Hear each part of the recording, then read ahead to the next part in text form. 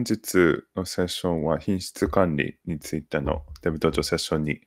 なります。ご参加いただきありがとうございます。では、品質管理の世界にどんどん入っていきたいと思ってます。まずは、自分たちが使っているサービス、プロダクト、プロダクトが大幅に自分たちの期待値を超えて、とても安心して使えている状態。これはまさに QA の力だというふうに考えています。そういった観点から QA の基礎について学んでいければと思います。どういった実際のインパクトがあるのか、そういったところについて話していきたいと思います。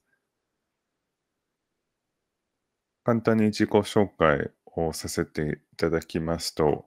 デビアと申します。メルカリで QA エンジニアをやっていまして、2年前ぐらいにジョインしました。いくつかのチームやプロジェクトにえーご一緒したことがあり、今 MKQA の方でクロスボーダーのプロダクトに入ってます。日本に来て5年ぐらい経ちまして、3社目でメルカリにジョインしました。今までは QA の仕事をしてきまして、そのためにおいては10年ぐらいの経験があります。私が持っている、知識だったりを少しでも皆さんに共有できればなというふうに思っています。では、アレホさん、自己紹介お願いします。はい、アレホと申します。同じく2年前ぐらいにメルカリに入社をしまして、まずはメルカリ US の方で働いていたんですけど、そこからマーケットプレイスに移動をして、今はロジスティクスチームの方で QA をやってます。QA の経験としては、まあ、何社かで10年ぐらい合計経つところです。よろしくお願いします。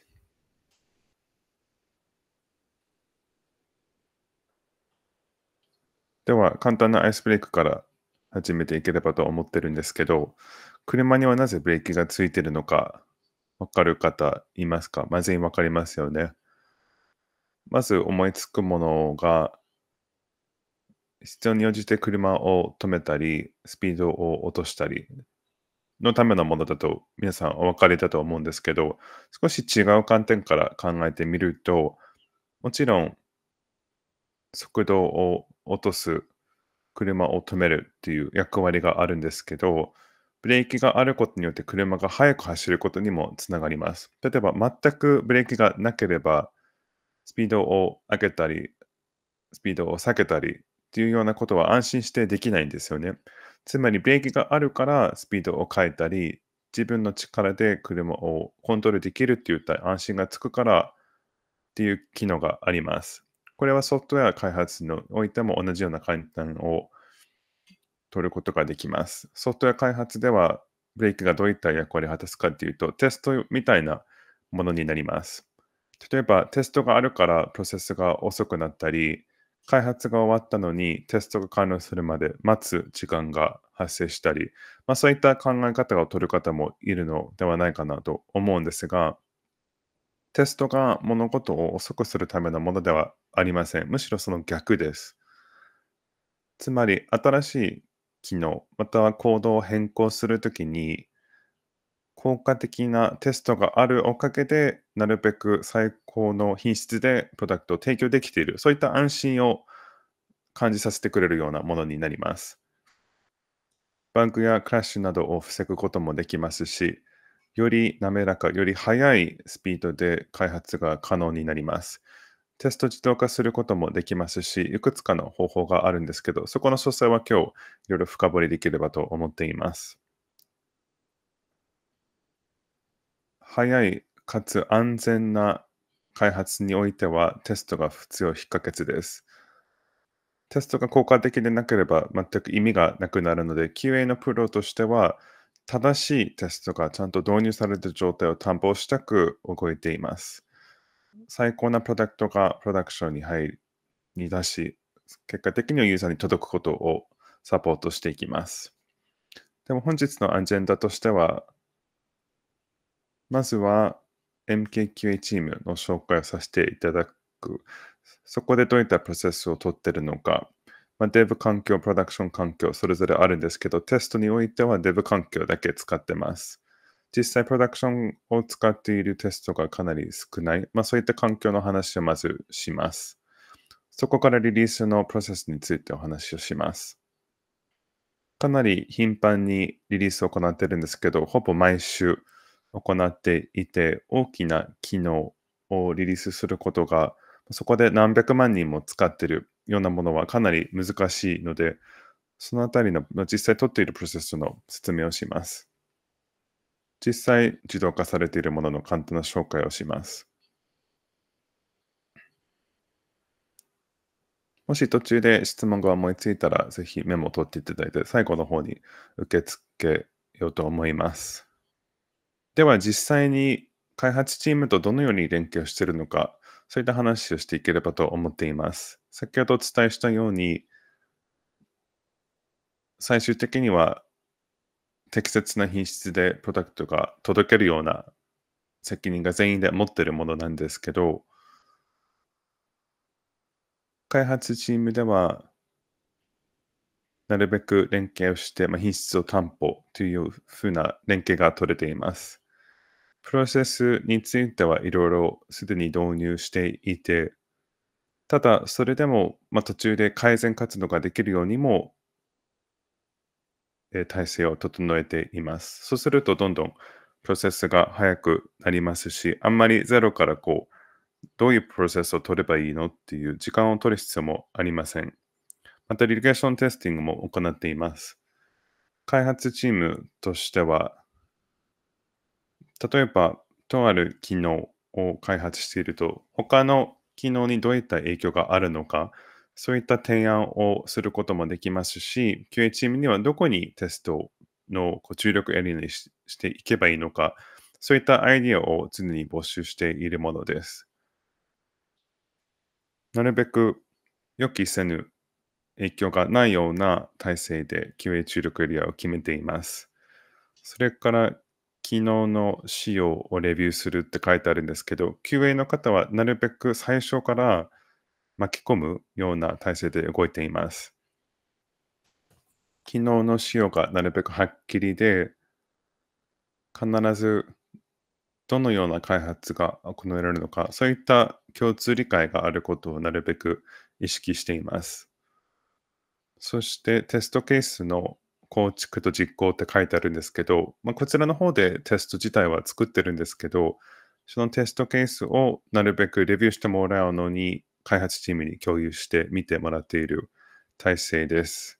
テストケースのレビューはいつでもウェルカムですし、なるべくレビューの依頼があった方がどんどん改善にもつながるというふうに考えてます。それからプロダクト品質の可視化と観測って書いてあるんですけど、実際のトレーサビリティの観測だったり、まあ、いくつかの指標を置いて見て、ダッシュボードに求めています。そうすると、実際数値ベースで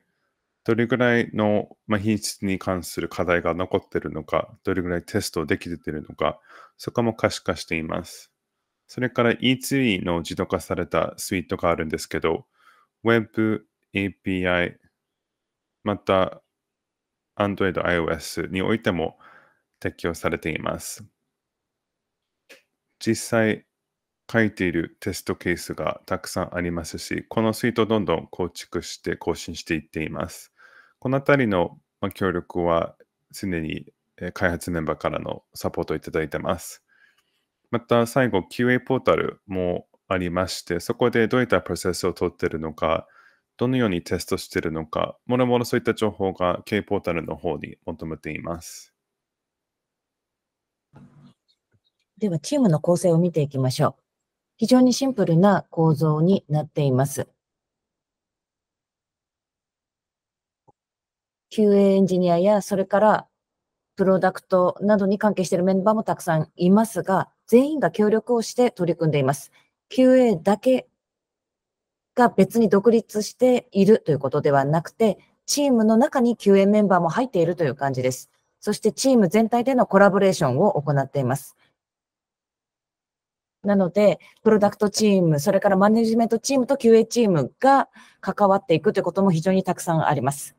そしてどうやれば、あより良くなっていくのかっていうのを一緒に進めていっています。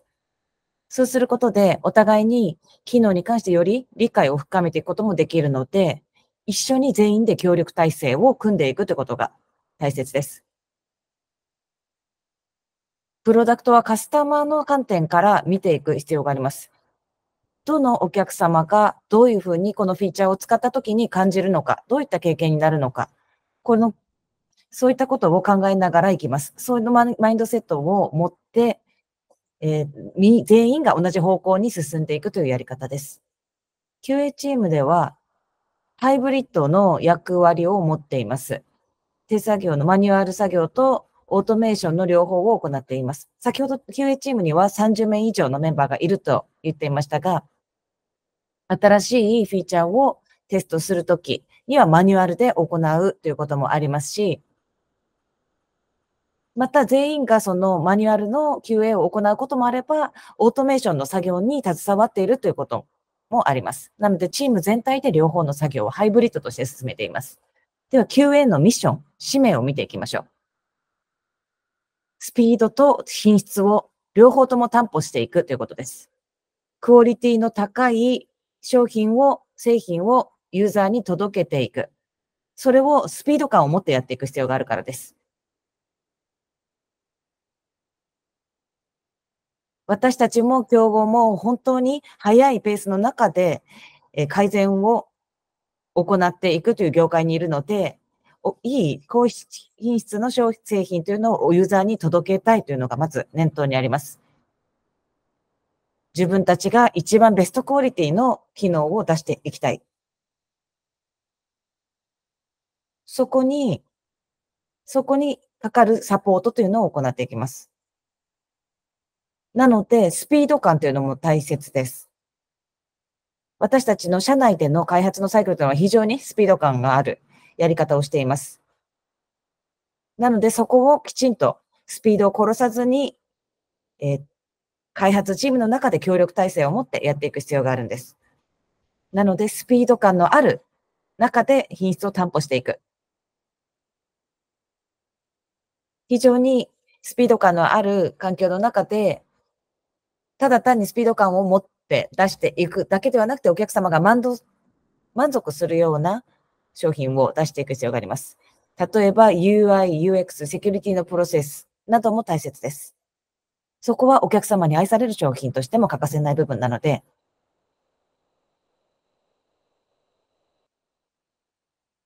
ここに QA マネージャーの方がパブリッシュしたスピードと品質に関するブログの記事というのがあるので、こちらをクリックしてぜひ読んでみてください。全体的なアイデアとしてプロセスをどういうふうに活用しながら、このスピードと品質を諦めることなくスピード感を殺さないということについて学んでもらえると思います。次に QA のプロセスを見ていきます。QA プロセスというのはテストの、テストモデルのことを指しています。キャンプというのが独特、独特定のドメインエリアに関して、例えば出品を行ったり、え購入を行ったりという機能などが一番大きなエリアになっています。例えばユニットテスト、それからサニティチェックなどということも非常に大切になってきます。で、QA を通常、通常を機能のテストケースのオーナーシップを持ちながら全体的なテストの機会を作っていきます。事前にテストのプランを行っていくのですが、生産性の高いテストというのを実現していく必要があります。なぜなら、お客様が実際にアプリを使うときと似たような、それに近いシナリアを作っていく必要があります。例えば、このアプリを使ったときにお客様がどういうふうに感じるのか、そういったことを実、再現できるようなシナリオ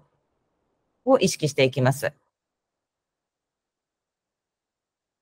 それによって、クオリティを上げてバグを減らしていきます。こういった QA テストというのは、初期段階で行うほど、その後のサイクルの中でトラブルが減っていきます。例えば API テストやユニットテスト。バグズが事前にできれば早い、できるだけ早い時期に分かっていれば分かっているほど、コストをかけずに直すことができる。それが後にずれ込むほど、直すには相当のコストがかかってくるからです。テストのサイクルとプロセスを見ていきます。テストは、プロジェクトの初期段階から行っていきます。プロダクトマネージャーと協力しながら、どういったプロダクトのリクワイメントになっているのかというのを理解していきます。そして、技術的なスペックを理解していきます。プロダクトのリクワイメントのドキュメントというのがあるので、マネージャーにディテールまで説明してもらいながら、例えばどういった機能が入っているべきなのか、エッジケースとして何が考えられるのかということも理解していきます。QA として私たちは、こういったスペックのドキュメントも頭に入れ、そのプロジェクトに関してきちんと深く理解していきます。そしてその知識を使って、それからこのプロセスのキックオフということに流れになっていきます。何がスコープ内なのか、スコープ外なのか、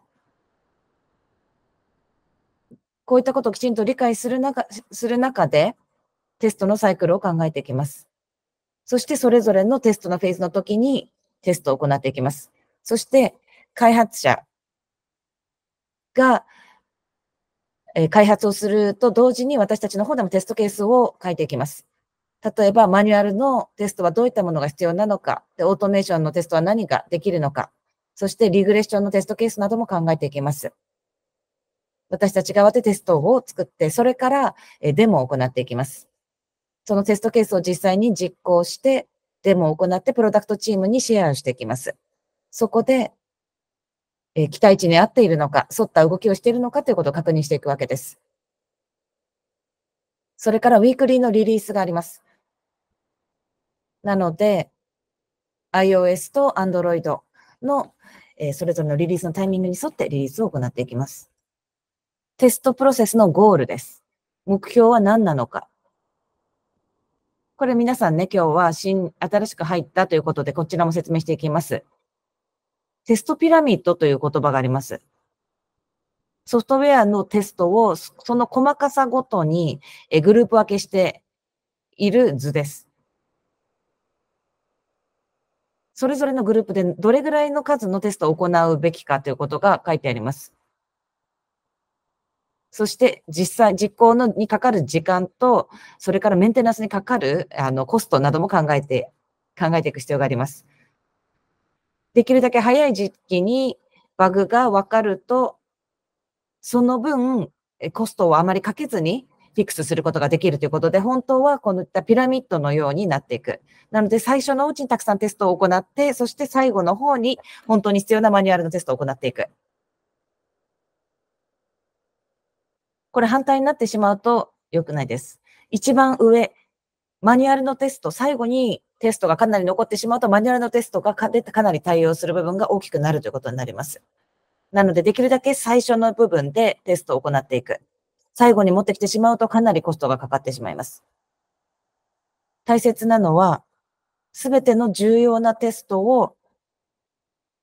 一番下のピラミッドの下でカバーしてしまうということが大切です。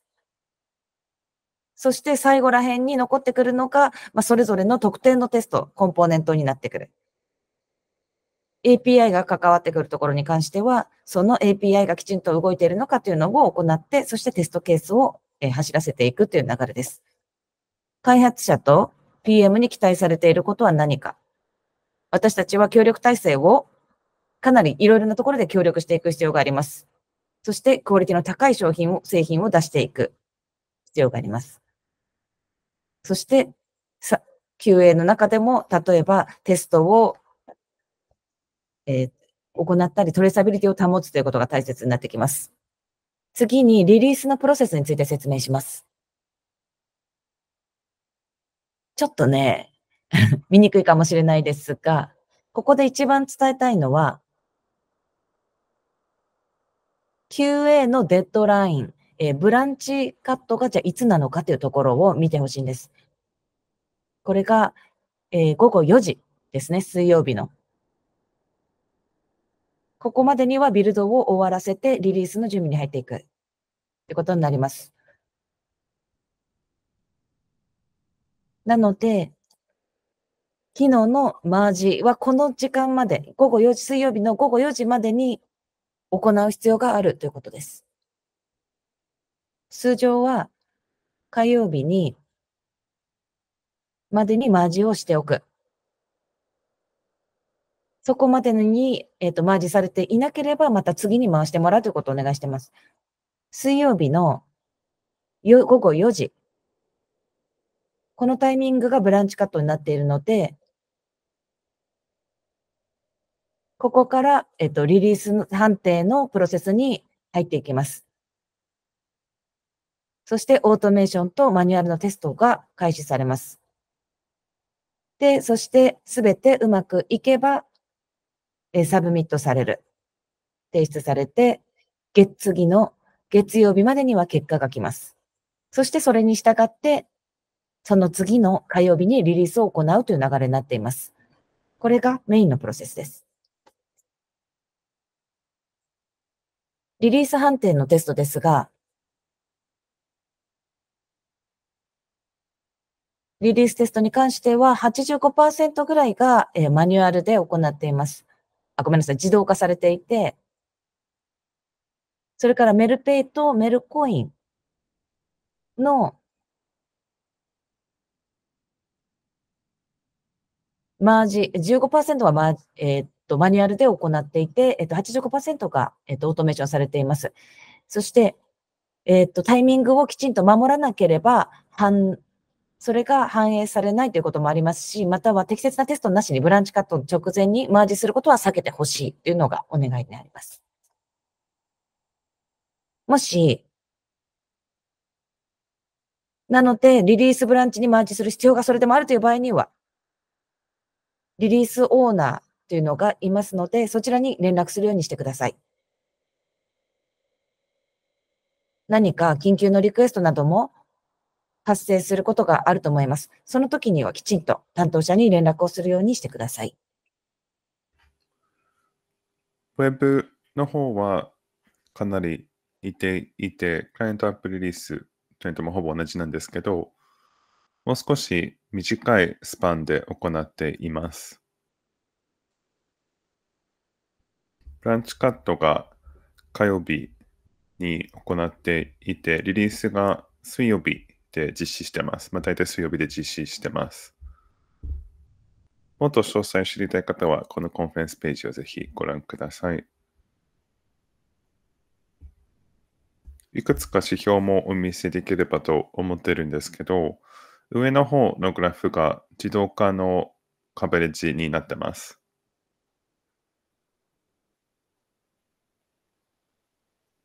86、7%くらいまで自動化でカベレッジができています。また、自動化のパスレートとしても下に指標が表示されてるんですけど、まあ、残っているテストは多くの場合がバグで失敗したり、まあ、または環境の問題で失敗したり、特にビルドに関係ないことを原因で失敗することもいくつかとしてあります。Android としては比較的に少ないですが、まあ、大体同じようなカベレッジで動いています。85%ぐらいで動いていまして、パスレートがもう少し低いんですけど、理由としては少し安定しないテストがあったり、ただそこは OKR にこの改善をしようとゴールを設定しています。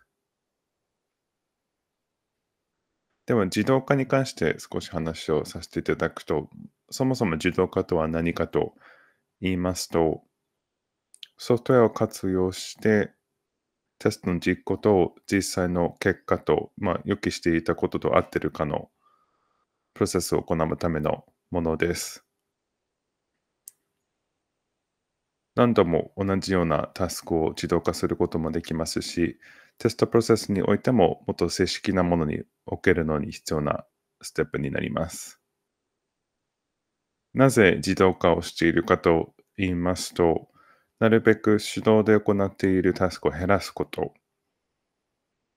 そうすると時間を短縮することもできます。もっとリゲーションテストとリリース判定にリソースを当てることが可能になります。複数のブラウザや端末をまたいで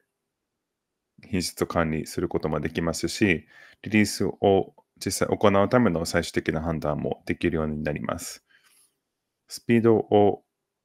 リリースサイクルにおいて早くすることもできます。これ、ま CI のソリューションを活用しながらなんですけれども、または最後、もっと早い段階から品質を向上することができます。先ほど少しお見せしたんですけど、85%ぐらいのリリース判定が自動化された UI テストで行っています。ログイン、ホーム、検索、出品、商品詳細、購入、取引などのところでカベージができています。残りの15%ぐらいが手動で行っていて、自動化をしようとしているところなんですけど、ものによっては完全に自動化することができないケースもあります。理由としては、自動化するコストが高いのと、まあ、できるのはできるけど、そこまで効果がない、まあ、メリットがないっていうものもいくつかあります。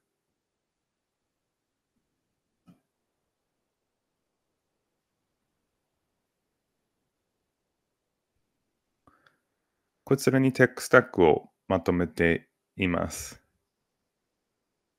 iOS では XCUI テストのフレームワークで Swift で書いていまして、Android は Kotlin、Web は Playwright で TypeScript を使ってます。API では Jest、それから TypeScript を使ってます。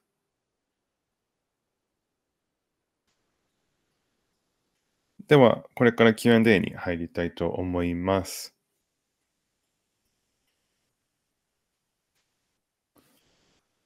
またこのセッションの後でも、もし何かありましたら、私宛て、またジビアさん宛てにご連絡いただくのも大丈夫です。